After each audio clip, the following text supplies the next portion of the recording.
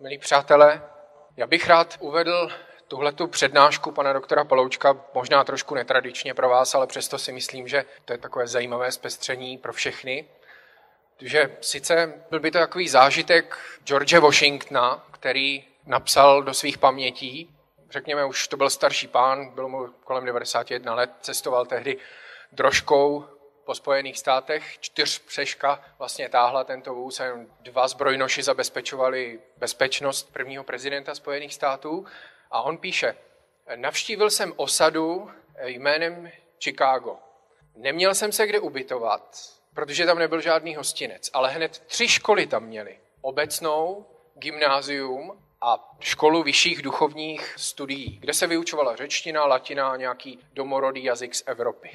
Ale moje obavy o to, kde budu spát, se v mžiku rozplynuly, protože každý mě zval k sobě domů, že považuje za čest mít u sebe ubytovaného přes noc prezidenta Spojených států. To se nakonec rozvinulo v to, že on tam zůstal celý týden a poznamenal si do svého deníčku, kdyby všichni lidé byli jako moravští bratři, tak bych nemusel mocí držet demokracii, protože oni umí vládnout sami sobě.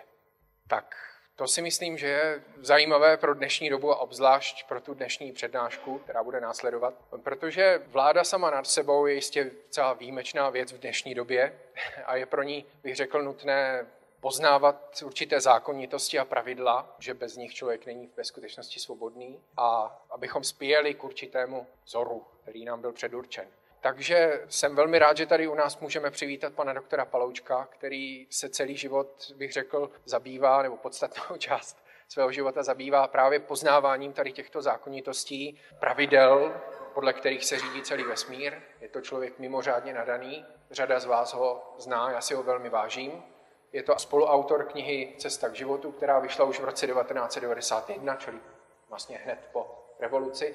Autor celé řady článků ve světě grálu publikovali v jiných časopisech internějšího charakteru a teď vlastně nově autorem knihy rozšířeného vydání poselství barev. Kniha je vtipná, moudrá, takže vřele doporučuji. A nebudu dlouho zdržovat, přeju vám příjemnou přednášku. Předávám slovo. Děkuji, Jiří. Já vám přeji pěkné poledne. Pan Gottweiss tady naznačil, že k tomu, čím se zabývám dnes, tak směřuji celý život, což je asi pravda. Velkou roli v tom sehrála moje babička, která, když jsem byl asi ve věku pěti nebo šesti let, tak eh, si nechala na mě vyložit u kartářky. A byla nějaká eh, cikánka a ta jí řekla, že vyniknu ve svém oboru. A já do dnešního dne nevím, co to je vlastně. Takže mě to nutí, abych ten svůj obor hledal. A proto jsem taky vyzkoušel tolik věcí, Dalo by se říct, že jsem ho našel v té medicíně, protože jsem ji vystudoval na Karlově univerzitě, ale tu a tam mě to zavede skutečně daleko od té medicíny, takže nejsem si jistý, jestli jsem u konce a rád bych teda ještě u konce nebyl. Chtěl bych začít s takovým osobním příběhem, který se také vztahuje k víře v uzdravení. Dalo by se říci, že víra v uzdravení i když v tom názvu přednášky není víra v uzdravení, tam je víra tvá tě uzdravila. A já teď budu mluvit ve víře uzdravení, tak jak se to obyčejně chápe. To je spojeno vůbec s medicínou, protože člověk, který je nemocný, tak ten si přeje zase být zdravý, získat ho zpět. Takže já jsem vyrostl na studiích, vychoval mě teda vysoká škola a tomu odpovídaly i moje představy o tom, jak se léčí, co znamená úspěch v léčení a tak dále. Po skončení školy jsem nastoupil na vojnu pro mladší generaci, já už se musím počítat k té ne starší, ale jako je té střední. Po vysoké škole chodili absolventi ještě rok na vojnu, takže jsem narukoval. A v takovém tom sběrném táboře, který někdy připomínal Lazaret, kde se sešli všichni vysokoškoláci, aby se připravovali na vojenskou přísahu, tak jsme hráli jednou večer, na to nikdy nezapomenu, fotbal a já jsem najednou ucítil bolesti. A na to jsem nebyl zvyklý, protože jsem byl naopak zvyklý, že tělo mi dobře slouží. Jako dorostenec jsem hrál vrcholově odbíjenou a věnoval jsem se karate, takže bolest to bylo něco, co jsem neznal. I když mě tu a tam zneklidňovala taková myšlenka, jak jsem vlastně k tomu zdraví přišel. To mi znepříjemňovalo ten bezbolestný život. A tak ten skončil v těch 25 a já jsem si s tím nevěděl rady. Dokázal jsem se sám vyšetřit, dokonce to byl můj budoucí obor medicínský, ale nebyl jsem z toho moc chytrý. Tak když jsem pak už byl na posádce v Bechyni, tak jsem si nasadil léky, tak jak se na vzdělaného lékaře sluší a patří a bylo mi z toho akorát zle a nic jiného se nestalo. A když jsem byl neúspěšný asi měsíc, tak jsem zajel do krajské vojenské nemocnice, nebo jsem se tam nechal zavést, protože jsme tam normálně vozili zásoby našeho ležení, vrtulníkového a stíhacího. Tak mě vyšetřili, zrengenovali a předepsali mi ty samé léky, co jsem si předepsal já. Tak to mě úplně zmátlo a takhle jsem strávil ten rok s tím, že ty bolesti přibývaly. Ne, že by se něco řešilo, ale přibývalo to. A tak jsem začal přemýšlet o různých věcech a ačkoliv jsem si to ještě asi plně neuvědomoval, tak se ve mně něco začalo hroutit. Ale měl jsem připravený plán, když se vrátím z vojny, tak eh, zajdu za jedním profesorem, který už mě na fakultě, musím říct si, imponoval tím, jak dokázal o svém oboru přednášet a dokonce jsem se díky tomu jeho příkladu nějakou dobu zabýval myšlenkou, že bych chtěl studovat jeho obor protože jeho přednášky byly logické, bylo vidět, že má přehled, že ví, o čem mluví, že dokáže pomoci. Tak jsem říkal, tam je spása. Jemu jsem opravdu věřil. A tak tam vedla jedna z mých prvních cest, když jsem se vrátil do civilu. Pan profesor mě slušně přijal, já jsem se mu teda představil a on mě nechal zrengenovat. Získal jsem rengenových snímků na dalších 30 let asi dopředu. Bylo jich asi opravdu 20 nebo 30 a on si mě tam pak pozval a díval se na to a říká mi tu diagnózu a pak dodal, pravděpodobně to nebude mít maligní průběh a předepsal mě brufen. A to už jsem byl teda úplně zmatený. Poděkoval jsem mu, vyšel jsem s tím receptem ven a o něčem jsem asi přemýšlel, co se to děje. A když jsem šel kolem lékárny, kde bych si ten brufen měl vyzvednout, tak jsem ten recept vzal, zmuchlal a hodil do odpadkového koše. A nikdy jsem si žádný brufen nevzal. A to bych řekl, že to byl pro mě takový zážitek zlomový, kdy jsem přestal věřit v uzdravení tímto způsobem. Že mě může uzdravit, že mě může pomoci ta medicína, jak se mi za těch šest let namáhavě vystudoval. A tak začala cesta, která si myslím má mnoho společných rysů s cestami všech lidí, kteří ztratí zdraví a teď se snaží nějakým způsobem znovu získat. A tak mě to vedlo tradičně nejdřív k zájmu o výživu, o makrobiotiku, tehdy jim to začínalo. A potom jsem se dostal k různým metodám, které jsou dneska běžné, nebo už zase vůbec nejsou, protože jsou lepší. Začal jsem se zabývat drahokami, barvami, bylinami, protože mě už více let už i na medicíně zajímala duchovní problematika, tak jsem se dostal až nakonec poselství grálu. K tomu se taky váží jeden takový zážitek, ten vám možná řeknu protože je velice pěkný. To bylo po revoluci a jsem tehdy pracoval na ortopedické klinice ve Vinohradech, ve Vinohradské nemocnici, jako sekundární lékař, tam jsem měl své pokoje, své pacienty a jednoho dne tam přivezli Honzu Potměšila, to asi znáte, herce. Tak mě ho tam uložili na jednu postýlku a tak jsme začali rehabilitovat byl po těžkém zranění a já jsem se pak za pár dnů od sestřiček dozvěděl, že ho tam navštěvuje nějaká léčitelka.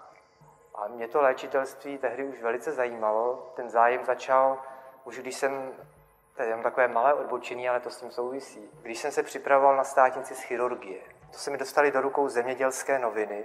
Nikdy v životě jsem je nečetl, ani nikdy potom, ale když jsem ten týden se připravoval na státnici z chirurgie, tak jsem otevřel zemědělské noviny, které přinesl Tchán tehdejší a tam byl článek o nějakém filipínském léčiteli, který léčí bez skalpelu, že přitom teče krev a že je všechno vyřešené během několika minut. Tak jsem to přečetl a ztratil jsem chuť se učit chirurgii. Tak mě to na mě zapůsobilo, takže asi dva dny jsem se neučil, ale pak jsem se to raději rychle doučil zase v těch zbývajících dnech že jsem si říkal, že když jsem se na to dal, tak bych to měl teda dokončit. Takže když jsem slyšel, že tam je nějaká léčitelka, tak jsem samozřejmě věděl, že není z Filipín a nějaká místní, protože na tu dobu si všichni pamatujete, jak bylo všechno za té totality potlačováno léta a léta, tak najednou, jakmile se uvolní ten pojistný ventil, tak nastála exploze, takže těch léčitelů se vyrojilo. A jeden působil, docházel dokonce na mé oddělení a dovolil si léčit mé pacienty. Tak se ve mně vzedmula taková vlna stavovské cti a takové uražené ješitnosti, co si to dovoluje bez mého souhlasu. Tak jsem tam, když tam byla, to jsem si vyhlédnul ten okamžik, tak jsem tam otevřel pokoj, pozdravil jsem, abych jí dal najevo svoji převahu. Zdvořil jsem se zeptal, co ona tam. Ona se mě také zdvořila, představila, usmála se a tím, jak působila, mě odzbrojila. Prostě byl jsem najednou úplně někde jinde, takže jsme se během několika minut domluvili na tom, že ji navštívím doma. Takže jsem přijal pozvání do její rodiny, to se uskutečnilo ještě snad ten týden, jsem tam přišel, bylo to takové milé povídání. Ten hovor se stočil k těm duchovním otázkám, protože i oni se o to zajímali. Tak jsem dával tak nějak chytře, nenápadně a nenápadně chytře najevo, co už toho vím o té duchovní oblasti, že jsem se věnoval józe, přečetl jsem něco o magii, o ezoterice. To bylo tehdy nebezpečné, protože já vím, že všechny ty knihy, které dnes jsou volně k prodeji, tak já jsem si tajně nechával kopírovat a svazovat v nějakém zapadlém knihkupectví. Takže to jsem měl všechno načtené, jak jsem dával najevo nenápadně, jak mi to jde už, jak už všechno vím. A oni tak pokyvovali hlavou, jako souhlasili se mnou, neprotestovali a pak nakonec mi ukázali poselství. A on mi říká, to by vás možná mohlo zajímat, protože o to máte takový zájem. Tak jsem si myslel, že byste si to rád půjčil. A teďka to byla kniha, kterou jsem nikdy neviděl a já měl hlad po těch knihách, tak jsem si říkal, to by bylo ono, ale jenom vevnitř. Ale zevně jsem zachoval takový odstup a řekl jsem nejhloupější větu svého života. Co je tady v té knize, to už stejně dávno ví. To byla moudrost. A už v té chvíli, když jsem to říkal, tak jsem věděl, že jsem to neměl říkat, že to není pravda. Nevím, jak to ve mně vyvstalo, pak jsem to pochopil. Tu knihu jsem přečet během dvou týdnů, Četl jsem ve dne, když jsem mohl v noci, za 14 jsem to přečetl a úplně se mi to všechno zhroutilo. Co jsem znal, co jsem věděl, co jsem si tvořil a bylo to úplně pryč v troskách, ale byl jsem odměněn, protože už v těch 14 dnech jsem dostal odpovědi na otázky, které jsem v těch ezoterických knihách skoro těch 9 let marně hledal. No tak tím se ten můj život už začal ubírat úplně jinou cestou. Přestalo mě bavit předepisování léků, přestalo mě bavit operování, protože jsem zjistil, že ti lidé mi projdou rukama a že se spolu zdržíme velmi krátce. Ne, že by šlo o tu dobu, ale o tu hloubku. Že spolu někdy ani nenavážeme kontakt. Takže z ortopedické ambulance jsem byl zvyklý na to, že mě za to dopoledne projde ordinací 50 lidí. A tak to sestra zapisovala na ten výkaz, tak přibíralo na takovém dobrém pocitu, jo, mám zasloužený výdělek, tady jsem užitečný. To bylo měřítko. Sice ten výsledek byl zasloužený, ale bídný, tehdy lékař dostával 2,5 tisíce. To se samozřejmě nedá vztáhnout na dnešní dobu, ale byla to almužna. Ale přesto takový ten hloupý pocit, že člověk musí, nevím, jak to nazvat slušně, ale nechat projít ordinací 50 lidí, aby teda získal pocit, že ty peníze mu patří. Tak mě to vyvádělo krok za krokem z té klasické medicíny a zavedlo mě to až do jednoho obvodu v Pošumaví. A tam jsem o tom si formoval také takovou představu, jo, tohle to pravé. Prostí lidé, žijící v přírodě, ti mi porozumí. Těm, když řeknu o zdravé stravě, tak ti zajásají. A budou dbát na mé rady. Neuvěřitelná naivita asi ve 32 letech, nebo kolik mi bylo, 33, tak ty mě z toho vyvedli velice rychle. Ten obvod měl asi 3,5 tisíce lidí a ten, který, nemůžu ani říct, že projevoval zájem o to, o co říkám, ale který zdvořile naslouchal, ten byl jeden. A to byla moje sestra. Jinak jsem zjistil, že v tom pohraničí eh, žijí lidé, kteří tam se usídlili po druhé světové válce, když to pohraničí bylo vysídlené, takže se tam natáhly různé někdy i živly a teďka jsem se tam léčil z těch posledních zbytků iluzí. Jestli jsem měl představu o tom, že tam eh, lidé budou mít zájem o zdravou stravu, ne. Když jsem jezdil po těch návštěvách, tak kolikrát jsem byl u zabíjaček. Tam do sebe už spali nebo to smažili. To se mi několikrát udělal i fyzicky nevolnost. S léky to bylo podobné. Přišla stará babička, otevřela igelitovou tašku a sestra jí do toho nasypala léky. Bylo to vyřešené. Já jsem udělal záznam, takže jsem tam fungoval, to jsem pocitoval stále zřetelněji jako rozcestník. Chirurgie, interna, ginekologie, orol, k tomu jsem tam byl. Tak jsem za asi necelý rok skončil. A stal jsem se jedním z prvních nezaměstnaných lékařů, možná úplně první nezaměstnaný v republice. Bylo to nádherné období, které moc rád vzpomínám, protože jsem všechno opustil, co jsem budoval, co jsem měl. Měl jsem pár tašek, se kterými jsem odjel do Jižních Čech. A tam jsme pracovali potom na takovém středisku léčitelském a tam jsme pracovali v jedné velké místnosti, lůžka byla oddělená paravány a tam chodili pacienti vyhladovělí po přírodním způsobu léčení, což byli skoro všichni. Čili klientela byla, zájem byl, já jsem tam do lidí zapichoval jehly akupunkturní, protože to jsem se stihnul ještě naučit jako lékař a tak to vlastně začalo pro mě. Že jsem se vymanil, někdy mi to připadalo z té manufaktury a začal jsem si jít svojí vlastní cestou, o které mi nikdo nemohl nic říct. Nevěděl jsem, co bude další etapou, co bude na jím konci. Přesto jsem si byl vnitřně jistý, že to je správná cesta. Dopouštěl jsem se přitom samozřejmě spousta chyb, jak na sobě, tak i na druhých, a to dělám určitě stále, a o některých vám povím, protože na ně velice rád vzpomínám.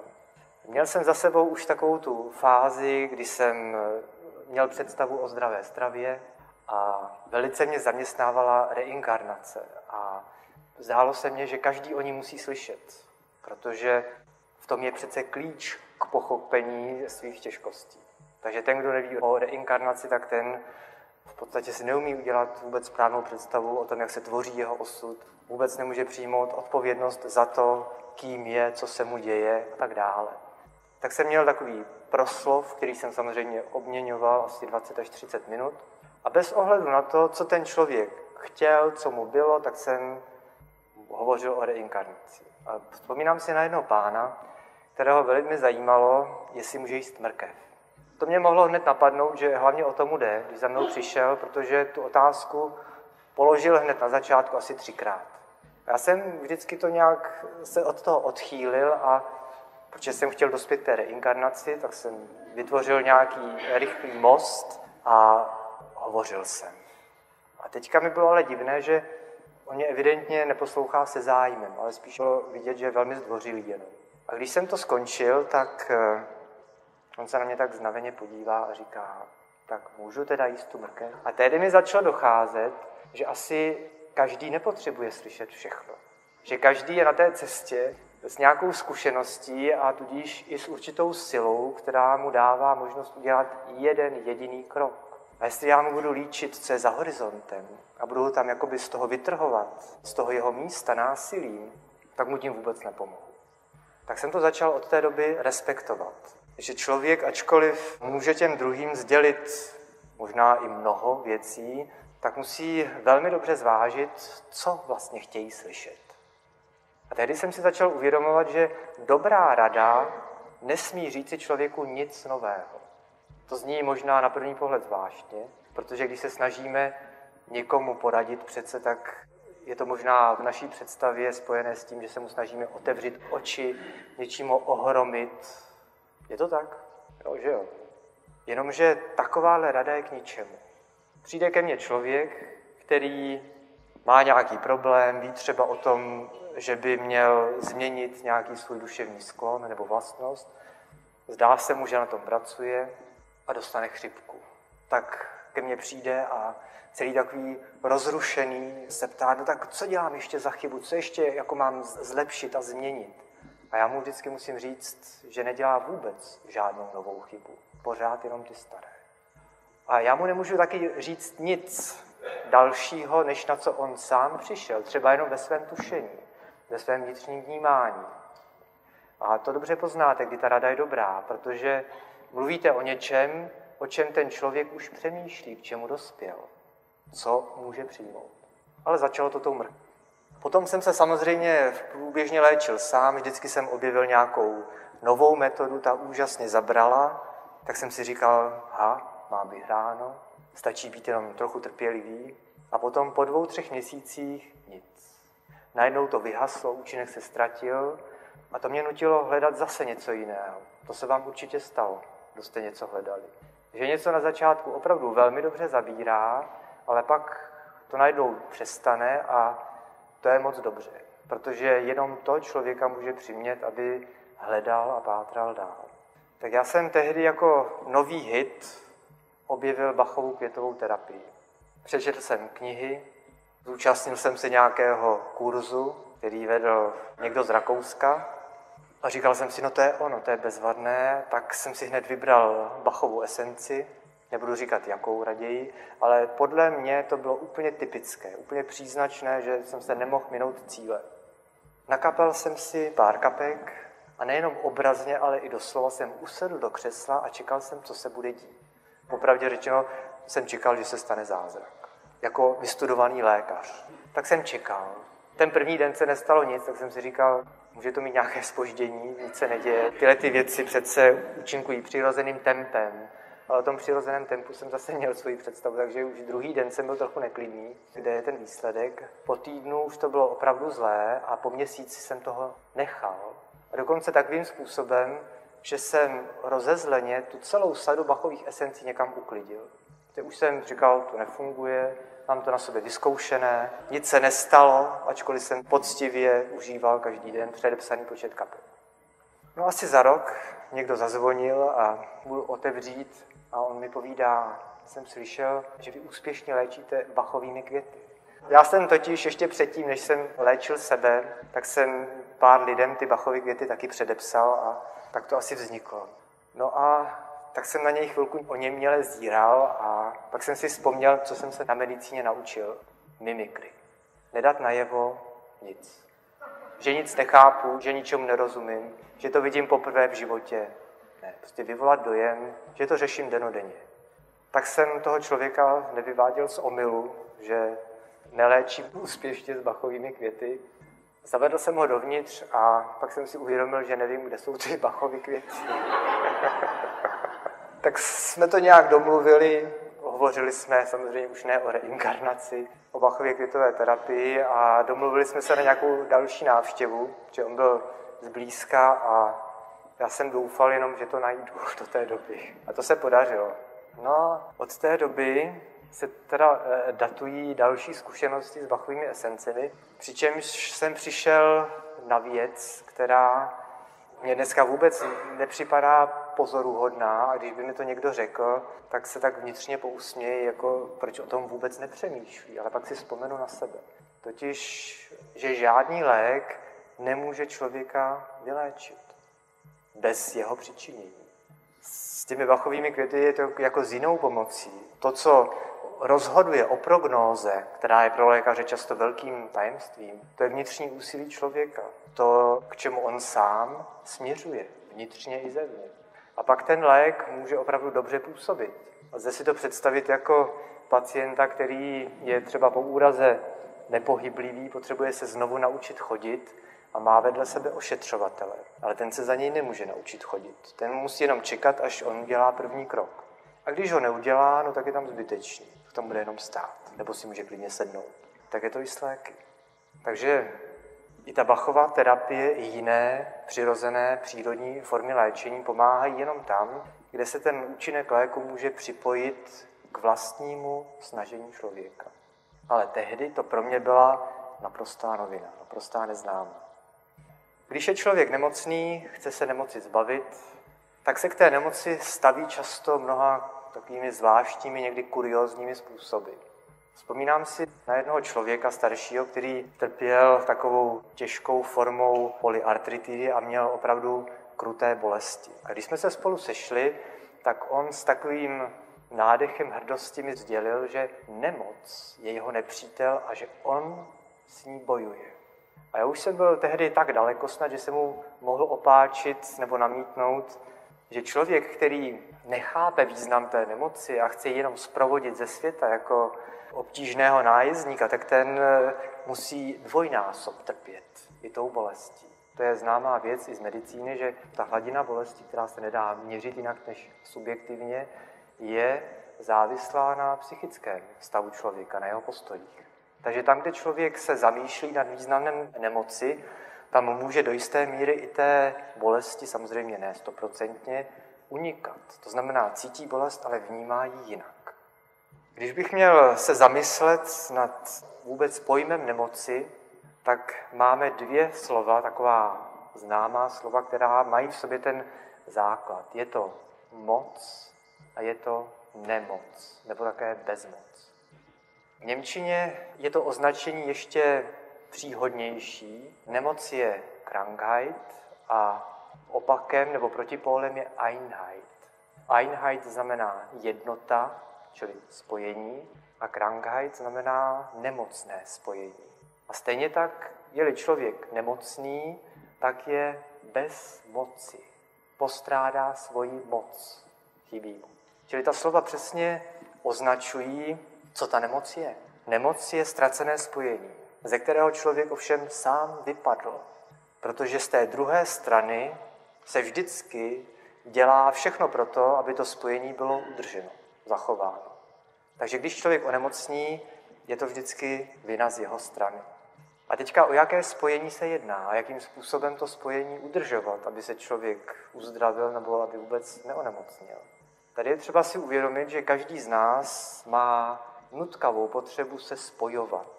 To máme prostě v sobě, to nelze změnit, nelze překonat, nelze vymítit. Když je někdo takzvaným individualistou a říká o sobě, že vydrží bez druhých lidí, tak bez nich třeba vydrží, ale moc mu to neprospěje. Čili je to víc potlačení přirozené potřeby, než nějaký další možný směr.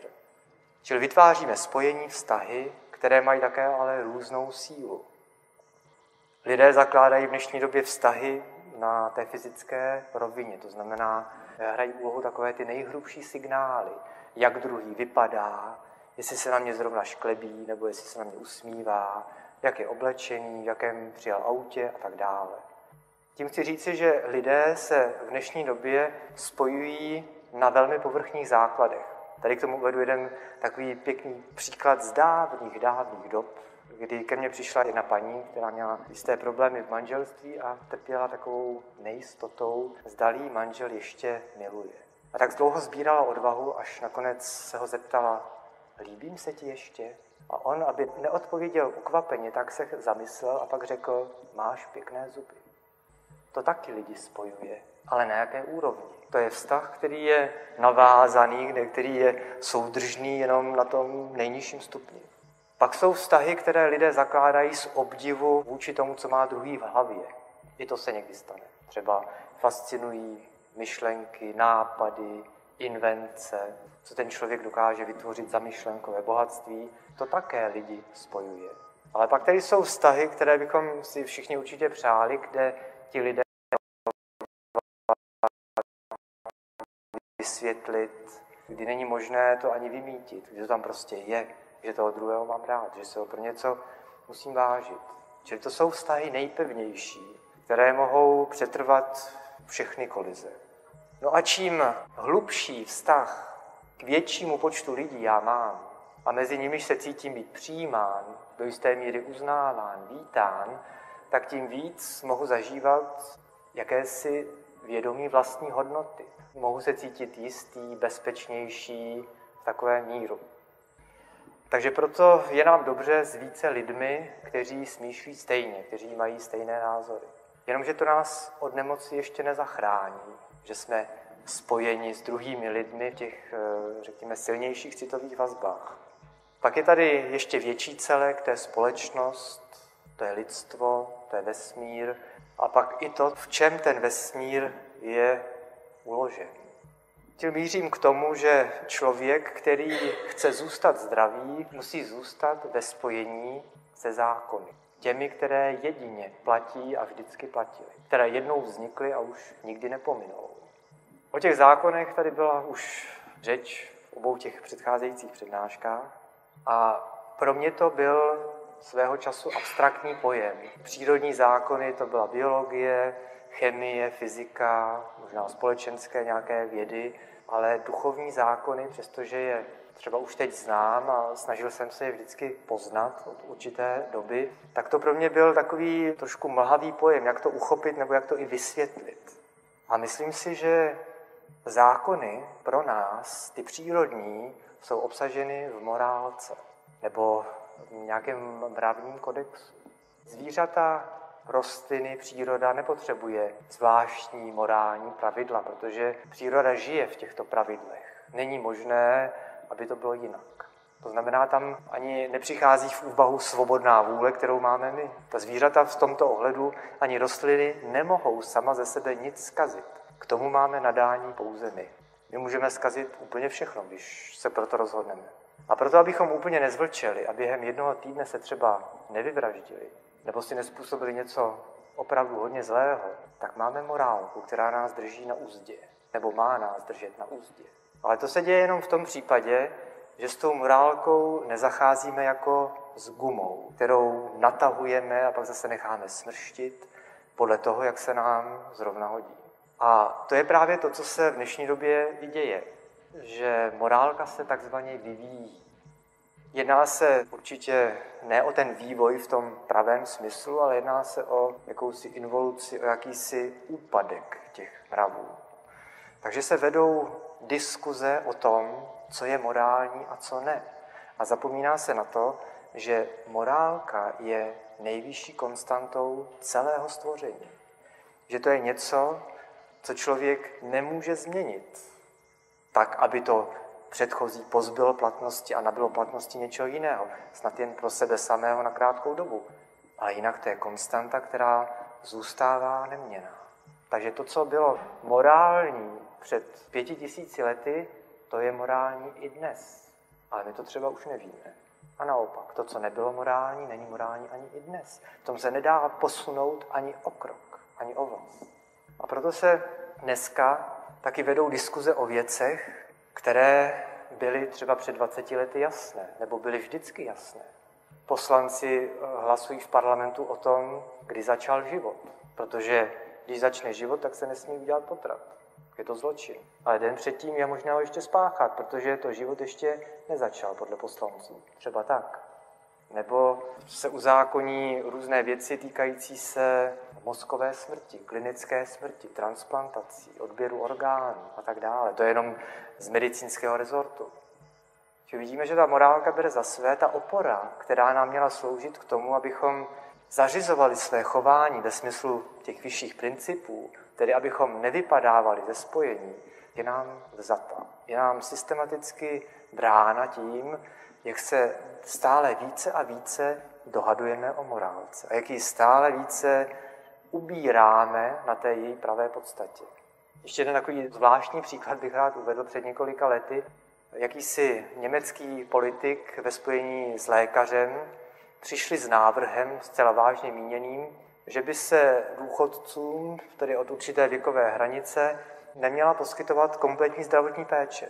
Jinými slovy, holokaust takový, nebo taková cílená selektivní genocida určité vrstvy obyvatelstva, která jenom zatěžkává ty zdravé, produktivní, protože hodně spotřebovává a nic neprodukuje.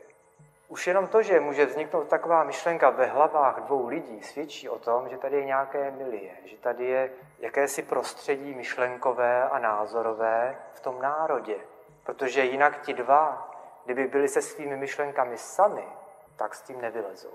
To znamená, za každým takovýmhle aktem, který někdo prezentuje, je třeba vidět část národa, která je buď liknavá, nebo smýšlí stejně, nebo dokonce to podporuje, takže to nevzniká samo sebou. A naštěstí teda okamžitě jakýsi svaz podal žalobu pro rafinované nabádání k vraždě, což je to správné označení pro ten čin. Tak tím jsem chtěl naznačit, jakou oporou nám je morálka, že to souvisí s těmi přírodními zákonitostmi, s tím duchovním životem, o který máme usilovat.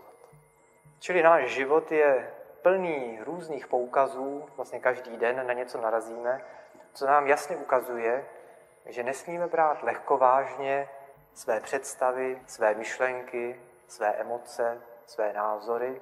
Názory, A to, co děláme chronicky, to je vůbec to nejnebezpečnější, pokud je to špatné, protože to děláme, to v nás žije a to působí dnem i nocí, bez ustání. I když usneme, je to tady.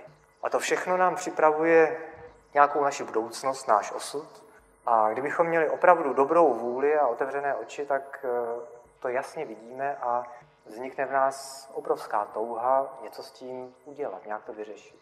Já bych vám teď rád řekl několik takových příběhů nebo příkladů, zase jakoby za to z opačného pólu, jak člověk může onemocnět. A možná se v tom i sami poznáte. Vzpomínám si na jeden příběh, který mi vyprávěla taková už starší paní, která trpěla nevysvětlitelnými bolestmi srdce. Byla vyšetřená kardiologicky na nějakém dobrém pracovišti, nezjistilo se nic, všechno v pořádku. Byla prohlášena za zdravou, odešla domů s takovou tísní a s bolestí u srdce. Já jsem se s ní setkal několikrát a ona mi při tom jednom z posledních rozhovorů, jak jsme se dostali na její dětství a ona zaspomínala na to, jak to u nich bylo, když byla malá. Jejich otec měl takové menší hospodářství, které obdělával, byla to tvrdá, namáhavá práce a měl nemocné srdce. A oni byli dvě sestry, které příležitostně vypomáhaly, ale jak se jeho stav zhoršil, tak kolikrát došlo k tomu, že se chytil za srdce a oni to museli všechno oddřít sami. A on šel domů. A v ní vzniklo podezření, že otec simuluje. Že je vlastně líný a aby se vyhnul té práci, tak to hodí tímhle tím způsobem na ně. Pak otec zemřel, ukázalo se, že skutečně měl nemocné srdce, ale její život běžel dál. Až teprve díky tady těm problémům si najednou uvědomila, že mu křivdila, že ho nespravedlivě obvinila. A že to obvinění v sobě nosila dalších 30 let, ačkoliv on už nebyl na tomto světě, naše cítění dosáhne kamkoliv. Tam není hranice mezi tímto a oním světem. A když si tohleto v sobě dokázala ujasnit, tak ty bolesti během několika dnů zcela pominuly a už se nevrátily. Jiným takovým příkladem zase takový starší muž, který pracoval léta v nějaké firmě, pracoval dobře, loajálně a ten jeho šéf ho po letech takovým eh, nepěkným způsobem propustil. A on potom onemocněl velmi těžkým zánětem uzlin v oblasti krku.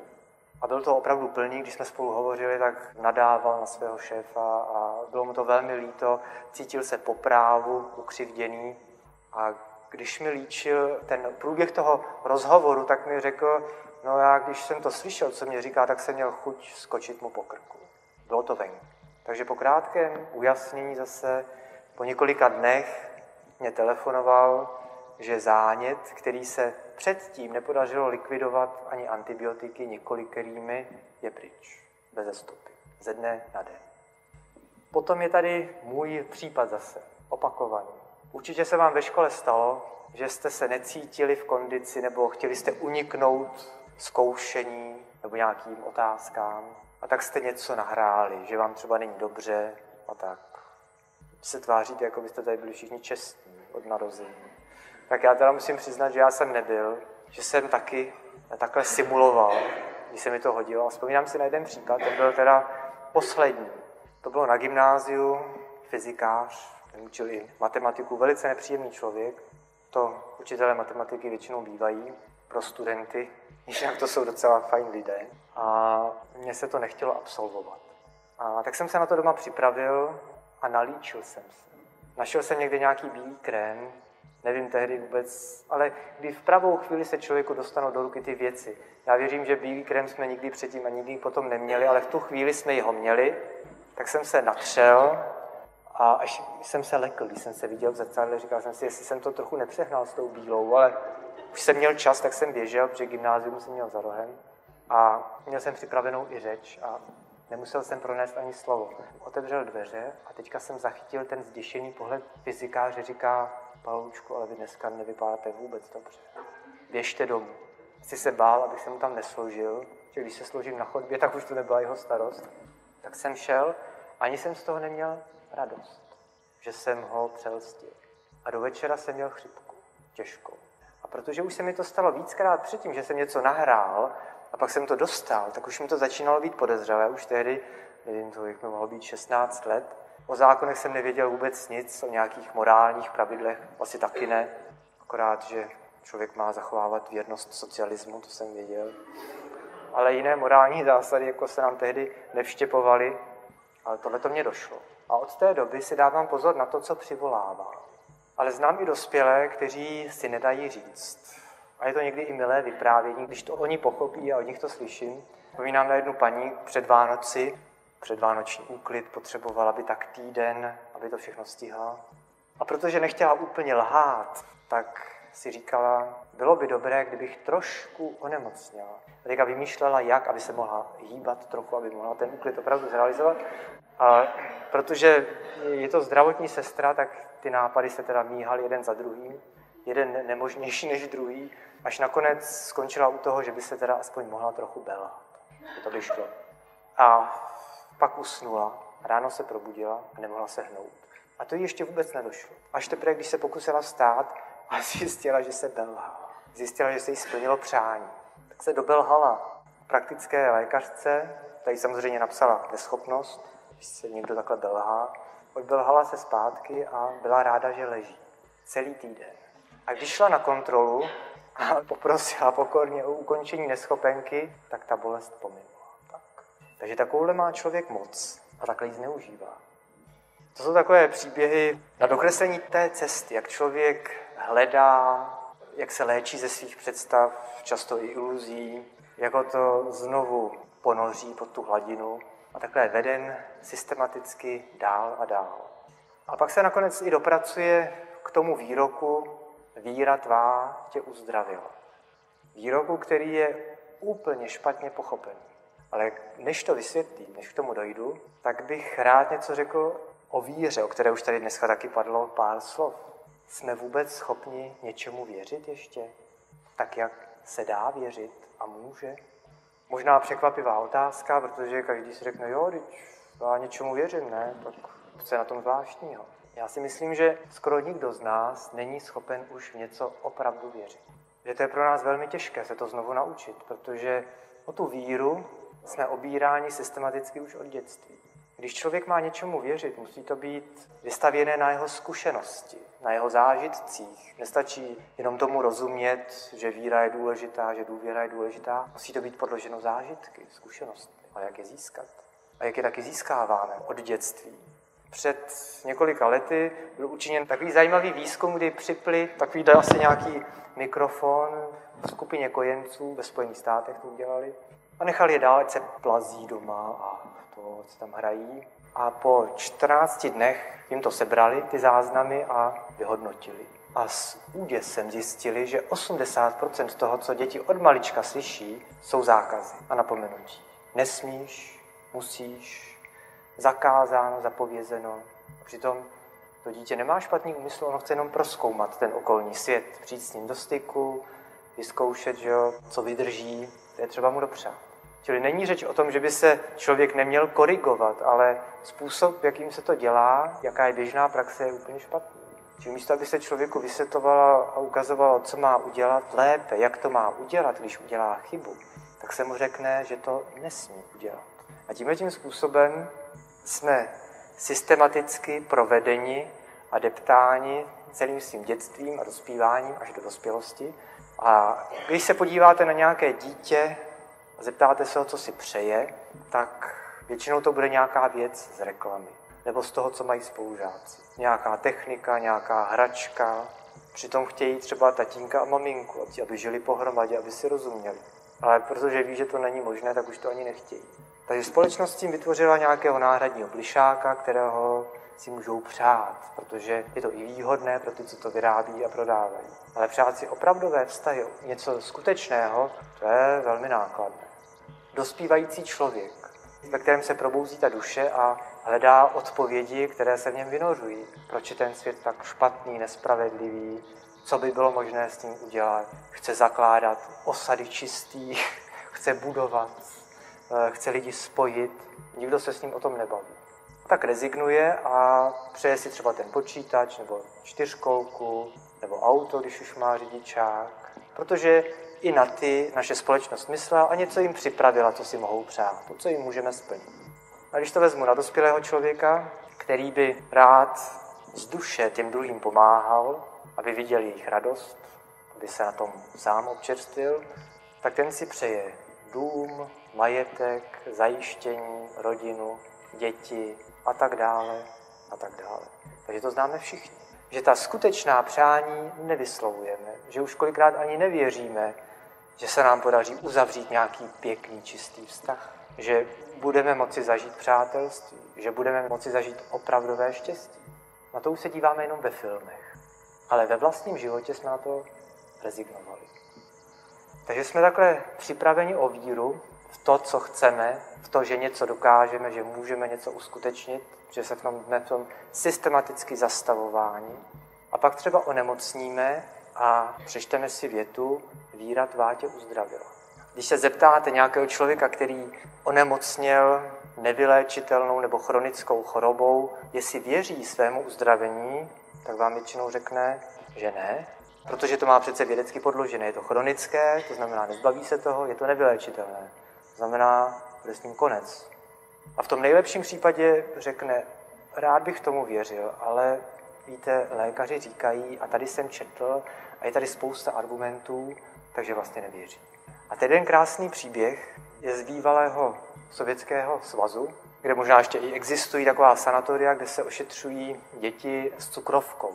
Dětský diabetes je velice obtížné onemocnění, také patří mezi ty skoro nevyléčitelné, ale tam se stalo, že v tom jednom sanatoriu se začaly děti uzdravovat. Ne všechny, ale začaly se některé uzdravovat.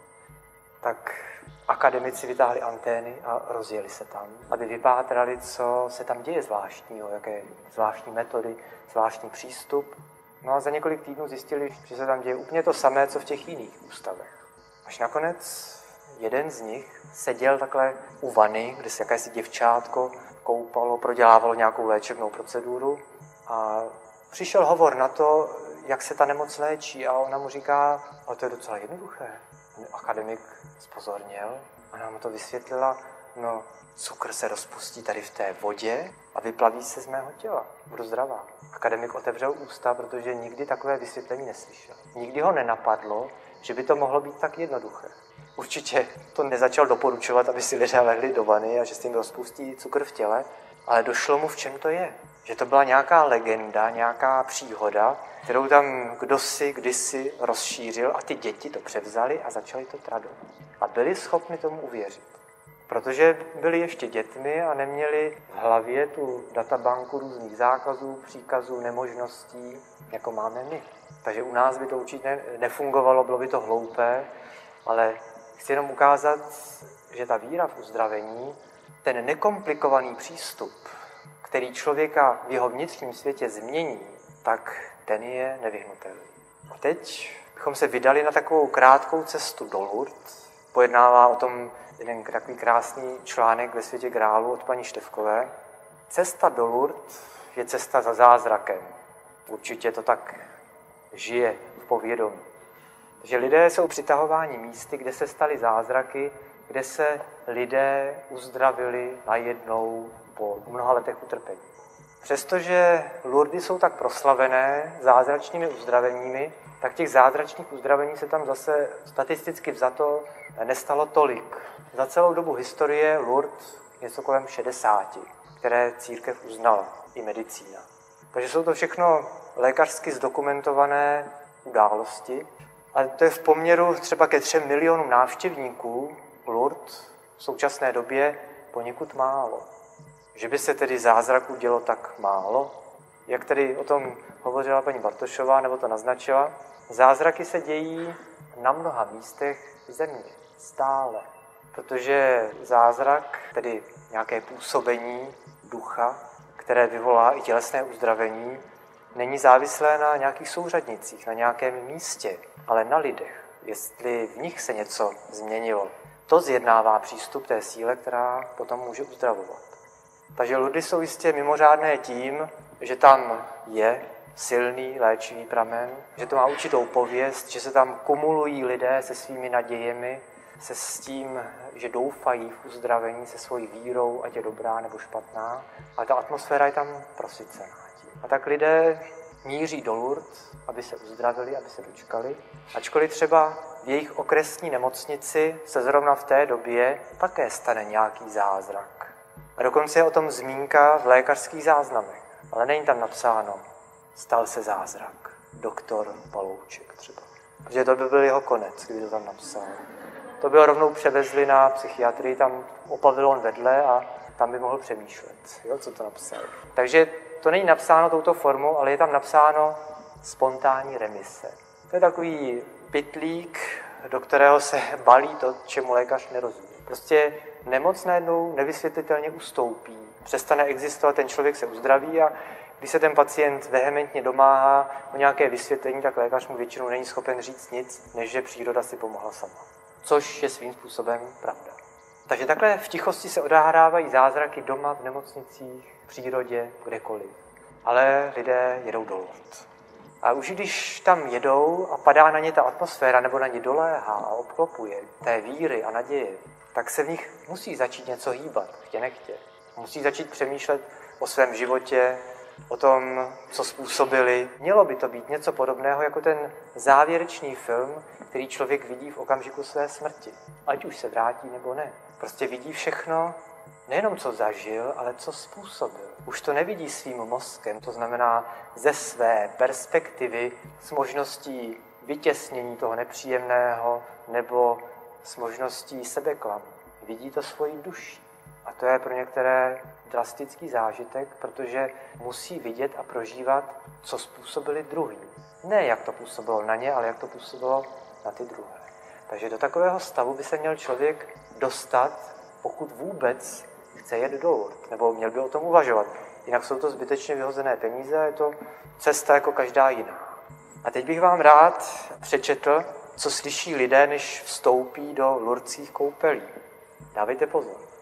Učiňte tento krok v modlitbě, ve víře, pokoře, v lásce a v míru a důvěře. Nepřipisujte vodě žádné jiné síly. Bůh dává svou milost velkoryse a z lásky. Nabízí vám mír v srdci a ulehčí vám ve vašem utrpení, jestliže to bude pro vás dobré. Jestliže to bude pro vás dobré. Jestliže to bude pro vás dobré. To by si měl člověk zapsat. Protože my si samozřejmě myslíme, že je pro nás dobré, kdybychom se uzdravili. A znám několik lidí, kteří tu zmiňovanou knihu Cesta k životu hodili vsteky do kouta, když se tam přečetli, že bolest a nemoc je pro ně pomocí. A vím to proto, protože se mi po letech přišli omluvit, ačkoliv já jsem o tom nevěděl, že ji rozdupali, že ji hodili do kouta, že ji roztrhali. Takže jestliže to bude pro vás dobré. A teďka k tomu, co vůbec ten výrok má znamenat. Ten výrok zní víra tvá tě uzdravila. Ale Ježíš, který je autorem toho výroku, nepochybně, samozřejmě uzdravoval, konal zázračná uzdravení, ale to není možné oddělit od jeho poslání. Znamená, on sám o sobě říkal, že přinesl pravdu na zemi. A že jedině ten, kdo bude jeho pravdu následovat, kdo podle ní tedy bude žít, bude mít z ní užitek. Tedy tady se v tom výroku nejedná o víru v uzdravení, ale o víru v jeho slovo, o víru v pravdu, o víru v zákony. Čili víra v uzdravení to s tím vůbec nesouvisí. A je samozřejmé, že když člověk tímto správným způsobem věří, to znamená snaží se žít podle těch zákonů, podle morálních principů, no tak mu to v konečném důsledku samočině musí přinést i tělesné uzdravení, které může pak nastat za různých okolností. Pak už se jedná jenom o takový spoušťový mechanismus, ale člověk musí být nejdřív uzdravený na duši a pak se teprve může uzdravit na těle. Takže to je smysl tohoto výroku a víra v uzdravení sama o sobě, tak jak se to šíří v různých knihách, v různých metodách nebo seminářích, ta člověka uzdravit v žádném případě nemůže. Ta je nutná, člověk musí věřit svému přání, musí v něm žít, ale musí mít stále na paměti, že tady je zákon, který stojí ještě nad tím a ten si žádá být naplněn. A pokud není naplněn, tak jenom víra v uzdravení nikomu nepomůže. Takže tím bych uzavřel svou přednášku. Budu rád, když vás to třeba přivede k nějakému zamyšlení. Ještě hlubší. Děkuji.